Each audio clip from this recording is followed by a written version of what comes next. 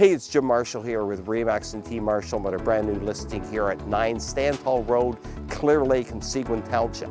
With this property, you're getting two acres, a south-facing lot, 155 feet of sandy shoreline, and a fully winterized three-bedroom, one bath house with a full walkout basement finish with an extra bathroom. Let's go take a look.